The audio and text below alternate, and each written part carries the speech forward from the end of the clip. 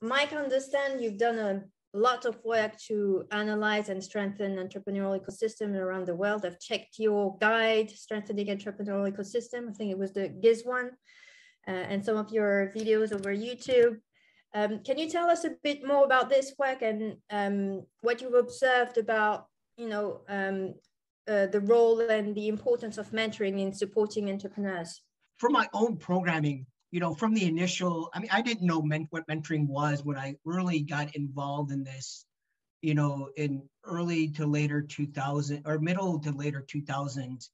Um, but you would have these coaching mentoring sessions and literally you would see magic, I think, and feel magic. You would see the power of the engagement and you would sort of understand there's something going on here. You couldn't quite sort of describe it or quite understood it. But I, you know, and I remember someone from I, I brought into a project I had in Egypt um, from Silicon Valley, kind of called it like this physics. Like you just have all these people, you know, connecting, and it just creates this powerful energy source. And so, you know, and and and that really, and and and, and a lot of the programs that we did um, had this mentoring. I always thought, you know, the most important thing is to get these you know business people out and you know and, and feel accountable to help a, a, new generation of entrepreneurs.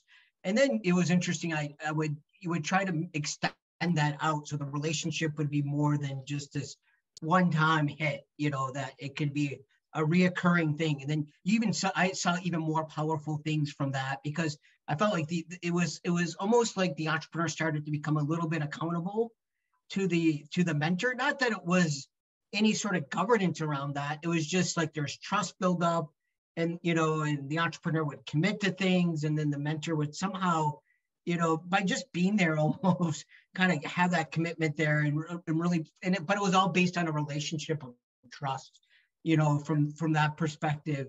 Um, and so when I, you know, later in my career, when you know some other uh, projects, um, you know, specifically the World Bank actually asked us to develop some training guides around entrepreneurship support organizations and incubators.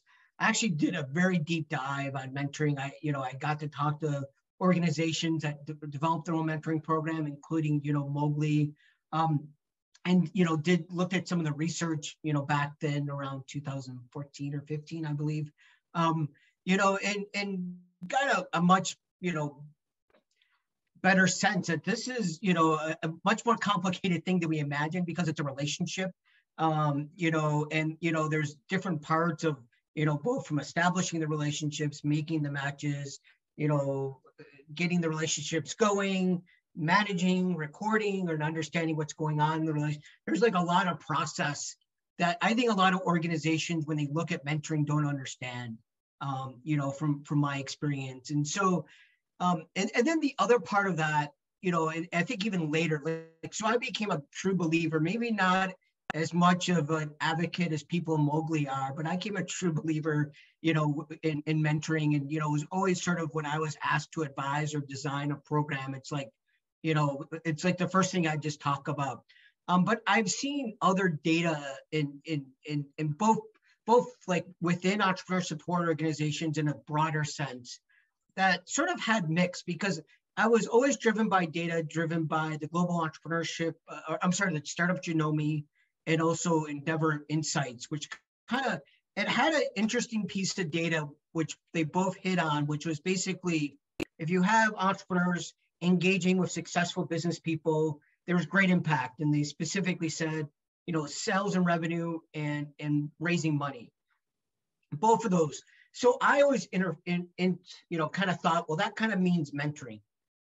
But then like I saw other data you know, specifically, I would look at specific ESOs and sort of their data of how happy their entrepreneurs are with their mentors.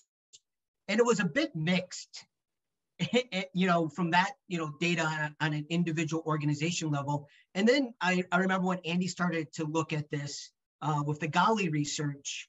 Um, and then you really, I, I thought mentoring would be up there, but what was interesting is networking was always sort of number one and then mentoring was kind of like third or fourth in sort of what entrepreneurs really appreciated. And there, you know, and so, uh, and and part of what I contribute that to is that I don't think a lot of these organizations know how how to do mentoring, you know, because it's complicated. It's it takes some resources, it takes some thought and you know, how to design a program. So, you know, so you know, I still am, an advocate and believer in this, but I, I believe it just doesn't happen as I once maybe thought of just the magic of, you know, just bringing people in a room and letting them sort of engage. There's really a process to make that happen. So that's kind of been my journey around mentoring.